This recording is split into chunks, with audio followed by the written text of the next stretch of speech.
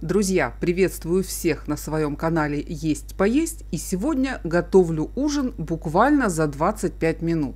Все делается крайне быстро, так как я использую полуфабрикаты, заготовленные впрок. Например, вареное куриное мясо и куриный бульон. Видеоролик, как я делаю такие заготовки, вы сможете увидеть в ближайшее время на моем канале. У меня есть уже подобный ролик, ссылку на него я оставлю под видео. Овощи также беру из своих заготовок на зиму. Хотя, разумеется, все можно взять в натуральном свежем виде, а список ингредиентов смотрите под описанием к видео. Итак, здесь я вкратце покажу, как делаю мясо.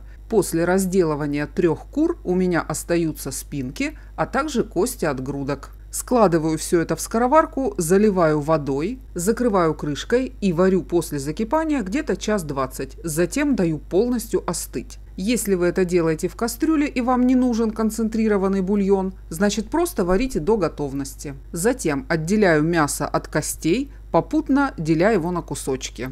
У меня на канале уже есть подобный рецепт с консервированной фасолью. Ссылку на него вы сейчас увидите в правом верхнем углу. Из получившегося мяса мне понадобится половина.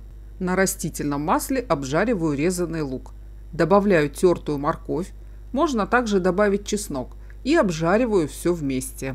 Кладу резанный болгарский перец, у меня замороженный, и замороженную стручковую фасоль. Можно взять консервированную. Размешаю и слегка обжарю. Добавляю курицу. Напомню, она у меня вареная и замороженная. Вы можете взять любое вареное или копченое мясо. И специи. Просто размешиваю. Но вы, если хотите, можете обжарить и мясо.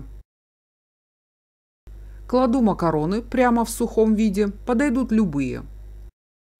Наливаю куриный бульон, который у меня также был в замороженном виде, и добавляю воду, так, чтобы она просто покрывала макароны. Если вы хотите, чтобы блюдо у вас получилось как бы с подливкой, налейте побольше. Но если что, воду можно будет потом подлить.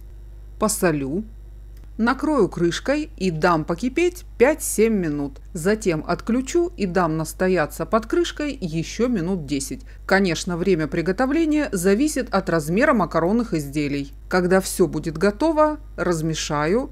Можно посыпать тертым сыром или зеленью на данном этапе или при подаче в каждую тарелку. Сюда можно использовать любые овощи, включая замороженные овощные смеси. Главное преимущество этого блюда – то, что готовится оно очень просто и быстро, а получается вкусно и сытно. Своего рода рецепт палочка-выручалочка, когда нужно что-то быстренько приготовить. Если вам понравился рецепт, не забудьте поставить лайк и обязательно напишите комментарий. Смотрите на моем канале видео о заготовке полуфабрикатов из курицы впрок. А еще один ролик на эту же тему выйдет на канале в скором времени. Я покажу, как всего из трех кур можно сделать очень много полуфабрикатов впрок. Не забывайте подписываться на канал «Есть поесть», а я желаю всем приятного аппетита, удачных экспериментов на кухне. Увидимся в следующих видео.